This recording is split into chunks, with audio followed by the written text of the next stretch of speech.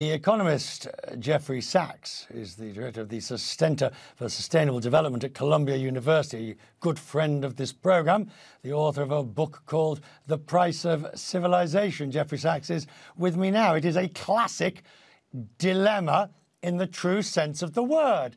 Do you cut your nose off and uh, stop your oil and gas, or do you have to continue buying Russian oil and gas? Because otherwise the economic effects will be worse at home. Which do you do, Jeffrey Sachs?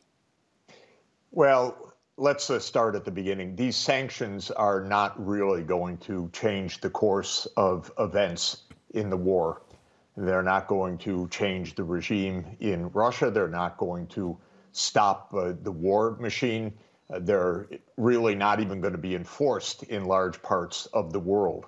So the fact of the matter is they're not really much of an answer to anything.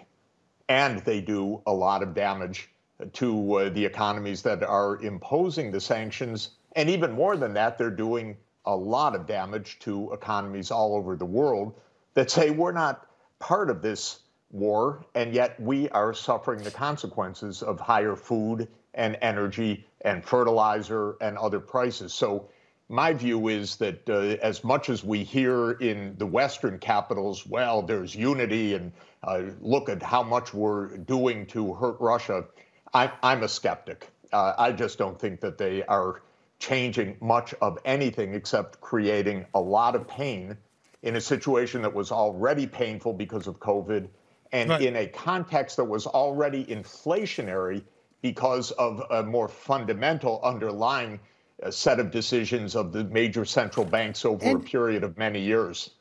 In your recent article last month, so obviously circumstances have changed and you may have changed your view to an extent, you said it's crucial for Ukraine and NATO to formulate cogent, prudent, reasonable peace terms now.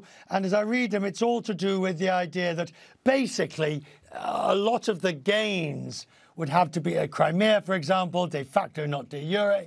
Uh, a lot of the gains would have to be ceded the east to Russia. How do you do this without rewarding the aggression? Look, Russia, uh, Ukraine is going to be destroyed in the coming weeks unless a deal is reached. Uh, and so the first point is the, the loss of lives and the destruction that could happen within the next few weeks and that has already happened is so huge, peace must be the central aim. And nothing that we are doing right now, none of the threats, the sanctions, and so forth are going to stop the mass destruction, but peace talks could. And right. the, the core of this issue, Richard, has been, in my opinion, from the beginning, the uh, NATO enlargement into Ukraine, the U.S. Uh, desire to have Ukraine on our side, uh, as it were, uh, has been so provocative that uh, we should have negotiated a long time ago on some very okay. basic points. But and, Jeffrey, and I hope that we do now before there's complete destruction of this right, country. Let me jump in there then. On this idea, Finland said today that they hope to make a decision on NATO membership. Now, bearing in mind Finland's you know, well and truly in the Western camp, member of the EU, etc., etc., would you? Uh, but but the same argument applies. You take it with Finland. You take NATO's border closer to Russia. Would you be in favour of Finland joining NATO? I think it would be so reckless and provocative at this moment, rather than having some prudence and pushing on the diplomatic line to get Russia out of Ukraine and to agree that NATO is not going to enlarge into Ukraine. You know, halfway around the world in a tiny little island in the Pacific, uh, in the Solomon Islands, the Solomon Islands uh, has drafted a security pact with China. It's a tiny island.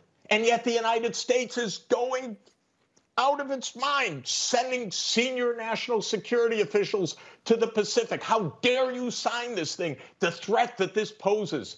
You know, this is how America feels about a small right. island signing a security pact with China. But then when it comes to the United States pushing into Ukraine in NATO, we say, Well, why is Russia concerned about that at all?